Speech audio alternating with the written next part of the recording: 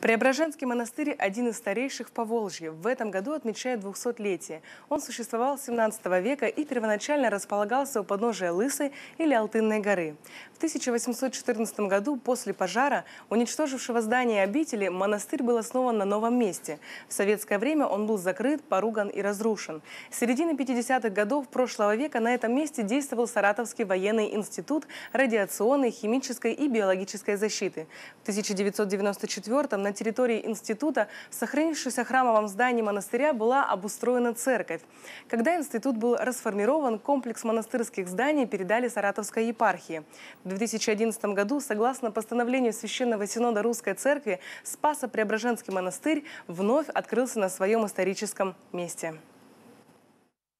О бывшем химучилище сегодня здесь напоминает только эта мемориальная плита – Учебное заведение, которое находилось здесь более полувека, было расформировано в 2009 году. И сегодня на этом месте возрождается Спасо-Преображенский мужской монастырь. Обитель здесь была обустроена в 1814 году. До этого времени она располагалась у подножия Соколовой горы почти два столетия, пока пожар не уничтожил практически весь Саратов.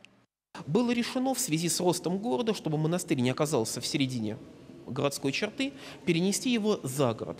Э, тогда э, территория нынешней первой и второй дачной – это был далекий загород, и именно там и разместилось строение будущего монастыря. В обители было шесть храмов, главный из которых – Преображенский собор.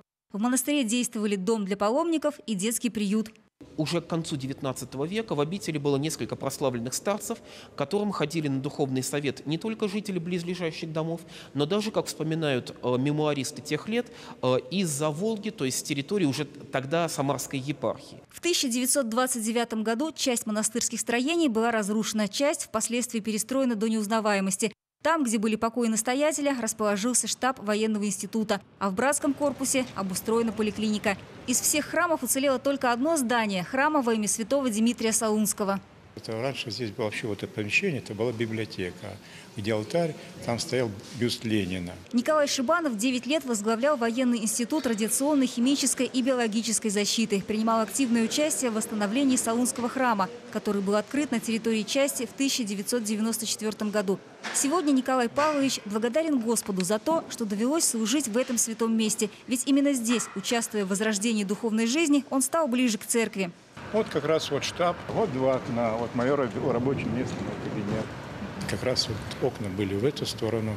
Когда был тяжелый момент, я всегда вот смотрел, молился, и все, все, весь мир представлялся совсем уже другим. Намного легче было. В большие праздники Николай Павлович часто приходит в этот храм вместе со своей супругой.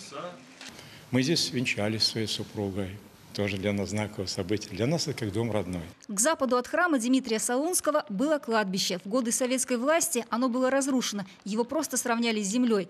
Еще довольно долгое время здесь находили человеческие останки и личные вещи погребенных. Довольно-таки много таких вещей, которые, по которым можно определить, что это люди такого высокого уровня, сановники или там какие-то высокие должностные лица. Помимо братьев, здесь хранили именитых саратовцев. В их числе два губернатора погребены на монастырском кладбище и основатели саратовского цирка, братья Никитины. Никитины были ктиторами э, Преображенского монастыря. В частности, на их средства был построен один из храмов.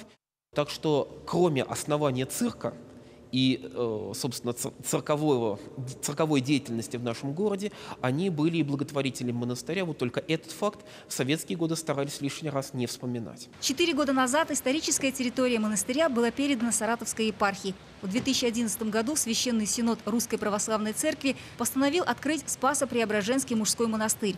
Сегодня немногочисленная пока братья обустраивает обитель. Предстоят большие строительные работы. В первую очередь необходимо возвести Спасо-Преображенский собор.